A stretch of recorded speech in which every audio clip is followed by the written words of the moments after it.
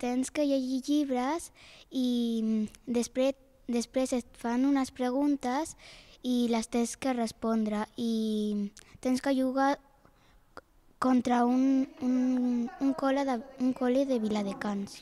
I després es va pujant de fase. Llavors, eh, després n'hi ha dues escoles que competeixen la final i qui guanya pues, és el guanyador de Viladecans. Els llibres són La Xurra, Jerónimo Stilton, La Palma, En Matadagoya, En Ratolinet es vesteix, etc. Molt contents d'arribar fins aquí, en, aquest, en aquesta competició de la Lliga dels Llibres contra el Martí Pol. Tenim un equip que és bastant bo i crec que guanyarem.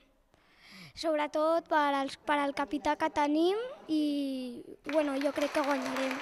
Tothom de, que, del col·le pues, està molt content i ens aplaudeix i tot i ens venen a felicitar per fins a on eh, hem arribat.